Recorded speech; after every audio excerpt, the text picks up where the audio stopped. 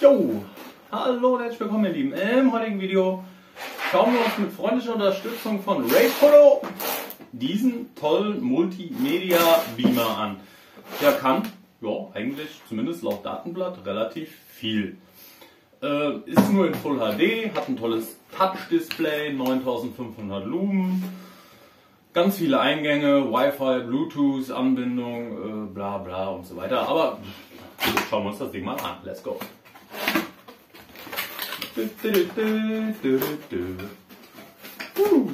Oh, schick.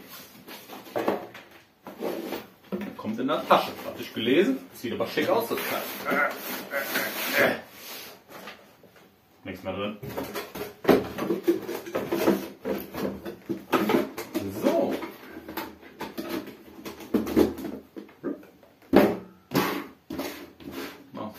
So, mal gucken.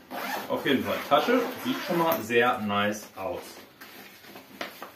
Ähm, obendrauf Bedienungsanleitung. Fernbedienung. Erinnert so ein bisschen an äh, Amazon Fire Fernbedienung. Kabelsalat. Ach du Scheiße. Hat einer sowas noch? Die gibt's noch?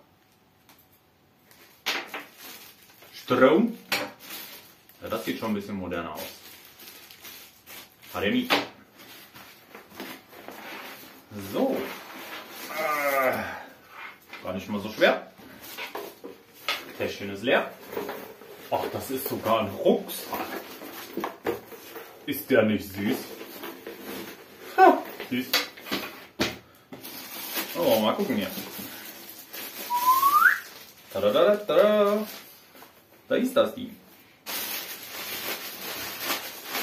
Oh, weg. So, also. Nicht besonders schwer. Sieht ordentlich verarbeitet aus.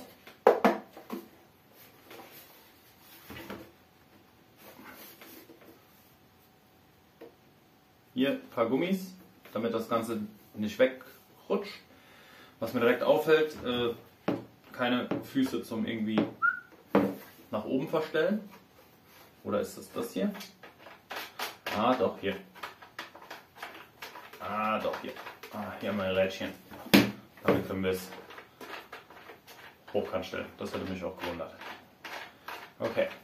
An der Seite hätte ich im Angebot einmal einen Klinkenanschluss für Sound, einen AV-Anschluss, ein USB, zwei USB-Anschlüsse und zweimal HDMI.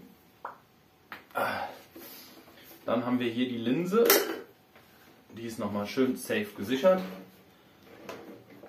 Hier können wir dann die Brennweite einstellen.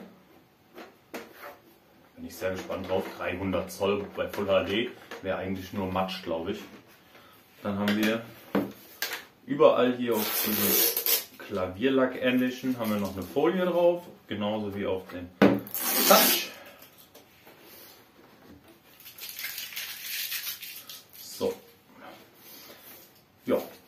Ähm, also Wi-Fi-Anbindung, Bluetooth-Anbindung, ähm, native 1080p, äh, 110 Watt verbraucht das äh, Ding an maximaler äh, Energie. Wir haben hier ein Surround-Lautsprechersystem, da und da. Ähm, ja, ich habe mir extra für dieses Ding und vielleicht auch noch für folgende Tests eine Leinwand gekauft. Die baue ich jetzt oben mal im Wohnzimmer auf und dann werden wir zusammen das Ding hier testen. Deshalb switchen wir jetzt die Location und kommen zum Test. Jo, so ihr Lieben, da ich demnächst äh, ein, zwei Beamer bekomme, und zwar eher äh, keine professionellen 4K-Dinger, habe ich mir eine schicke Leinwand gekauft. Und äh, das Ding möchte ich jetzt mal zusammen mit euch aufbauen. Das äh, erstmal kurz ein paar technische Daten, lese ich mal ganz kurz ab. Und zwar ist das aus dem äh, aus, von Amazon, ist von dem Selexon Store. Wir haben hier 2 Meter mal 2 Meter, entspricht 111 Zoll, ist ein 1 zu 1 Format. Ob man das variieren kann beim Runterziehen, ist nämlich inklusive Stativ. Weiß ich noch nicht, sehen wir gleich mal, habe ich auch nicht gelesen, ich habe einfach mal bestellt. Preislich äh, 79,99, normal 89,99, aktueller Stand äh, 79,99.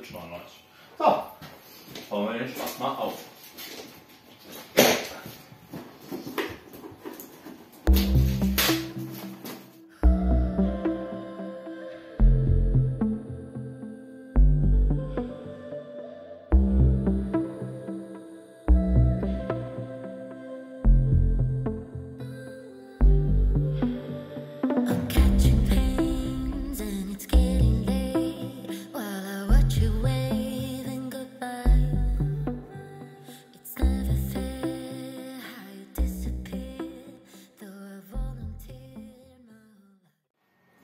Ja, so ihr Lieben. Also, ich habe den Beamer aufgebaut.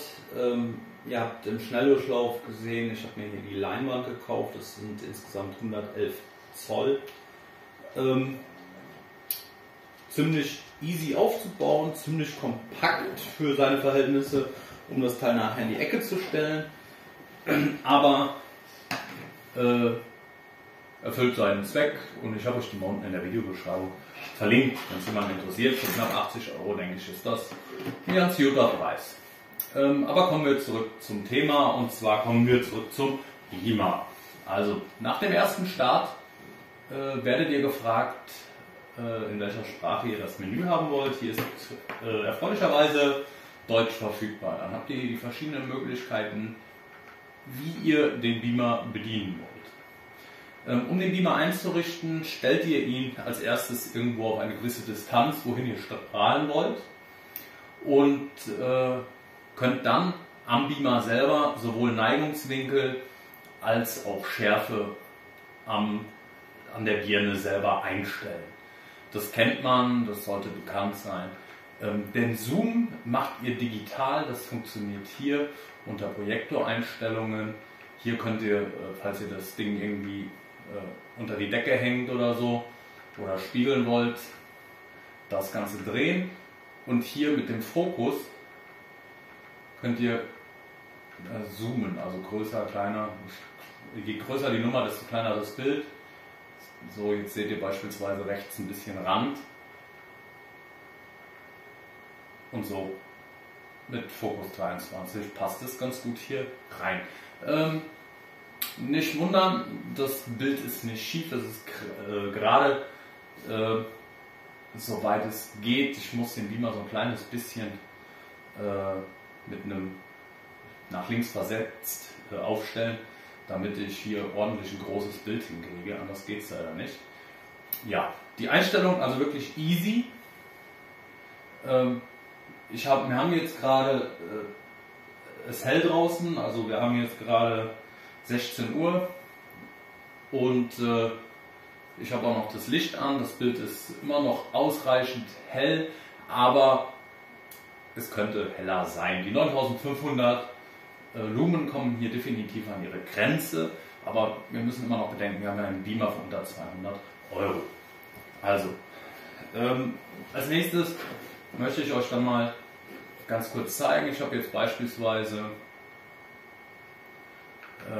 hier auf dem HDMI 2 habe ich ganz einfach mal einen Fire TV Stick angeschlossen. Hier hat gerade eben meine Tochter noch, noch was geguckt und zwar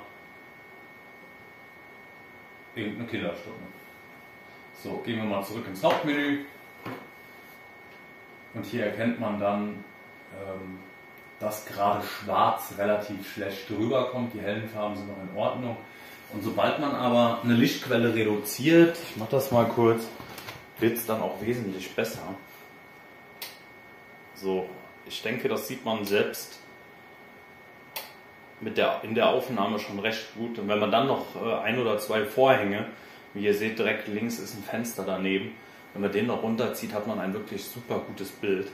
Aber jetzt irgendwie tagsüber draußen was zu projiz- projizieren, das würde jetzt nicht funktionieren.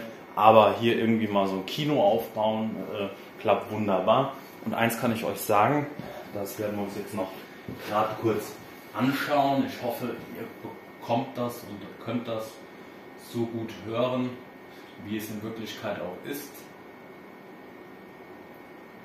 Wir machen einfach mal die Minions an.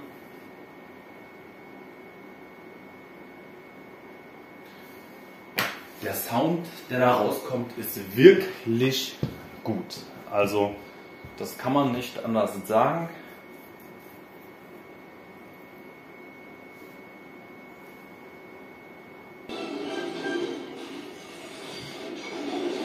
Also der Sound, der aus dem Gerät rauskommt, ist wirklich top. Also das geht kaum besser.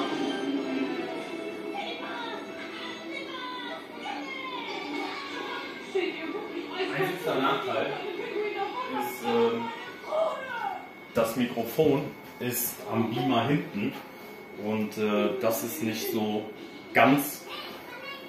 Äh,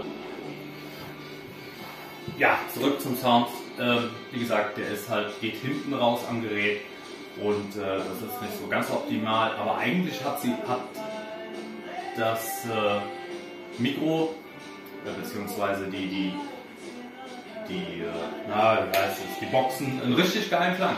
Also die sind eigentlich wirklich top. Ähm, ja, ähm, dann möchte ich euch natürlich noch zeigen, wie das Ganze aussieht, wenn man beispielsweise darauf zockt. Vielleicht ist das ja für den einen oder anderen Überlegung hier mit äh, dem Beamer. Und deshalb switchen wir jetzt mal um auf die Switch.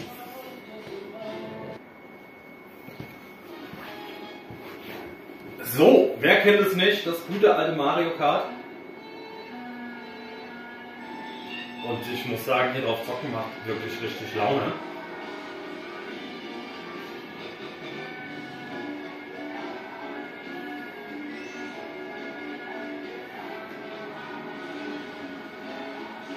Aber ich möchte euch noch äh, zeigen, dass das Bild auf jeden Fall viel, viel besser wird, äh, je dunkler es wird. Man logischerweise, die Farben kommen dann wesentlich besser rüber. Also für einen Kinoabend oder einen Zockerabend in einem abgedunkelten Raum ist das Teil wirklich empfehlenswert. Also ich habe gesehen, das kostet jetzt 199 Euro, äh, minus 40 Euro, glaube ich, Rabattcode im Moment bei Amazon.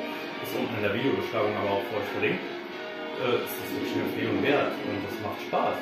Sowohl das Zocken als auch damit ein Filmchen gucken, äh, kann man auf jeden Fall mal machen. Und wenn man irgendwie sowas tut, ich habe jetzt hier nichts Schlechtes dran gefunden. Wie gesagt, einzigste Manko ist wirklich, äh, die 9500 Lumen kommen bei äh, maximaler Helligkeit draußen beziehungsweise mit zusätzlicher Lampe innen nicht mehr so komplett gut rüber. Aber wir schauen uns jetzt mal an, wie viel besser das Bild noch wird, wenn ich jetzt noch die Vorhänge zuziehe. So, jetzt mal kurz noch hier Nummer 1. Und 2.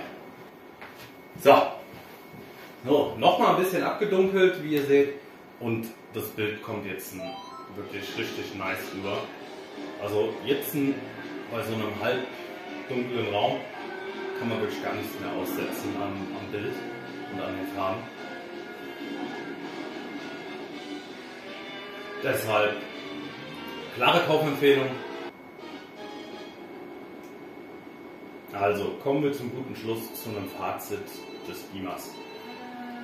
Preislich liegen wir hier bei 200 Euro minus den Rabatt-Coupon, den es im Moment bei Amazon gibt. Das ist äh, ein Preis von, ich glaube, 159 Euro. Wir haben hier eine ordentliche Helligkeit, die zumindest ausreicht, wenn man den Raum ein bisschen abdunkeln kann. Und äh, man kann damit ein ordentlich großes Bild, wie das hier ist äh, im Übrigen 111 Zoll, äh, projizieren und das Bild wird nicht matschig. Wir haben verschiedene Einstellmöglichkeiten der Größe, der äh, Diagonale und der Schärfe am Gerät bzw. in den Einstellungen des Geräts. Wenn man keine mega Erwartungen hat und, und nicht irgendwie draußen äh, Public Viewing machen möchte und ein äh, Fußballmatch zeigen, kann man das Ding hier bedenkenlos kaufen und einfach drinnen indoor ein bisschen Spaß damit haben. Mit einem richtig guten, großen Bild. Vor allem die Anschlussmöglichkeiten sind echt vielversprechend. Äh, also, wirklich kann ich euch ans Herz legen, macht mir richtig Spaß. und wird auch hier irgendwie im Einsatz bleiben. Ähm, muss mir nur noch überlegen, wie ich das äh, fest fixiere und äh, wo ich immer mit der Leinwand hingehe. Vielleicht kaufe ich mir noch eine, ich mache, aber erstmal fand ich die hier auch wirklich top. Die ist äh, preis-leistungstechnisch wirklich super und hat ein schönes Weiß, sodass alle Farben ordentlich dargestellt werden. So, wenn euch das Video jetzt gefallen hat, dann bitte klicken, liken, abonnieren, damit ihr das nächste Video nicht verpasst. Es kommt in nächster Zeit noch ein kleiner Beamer, äh, so ein äh, Mitnehmen-Beamer. Okay, ciao!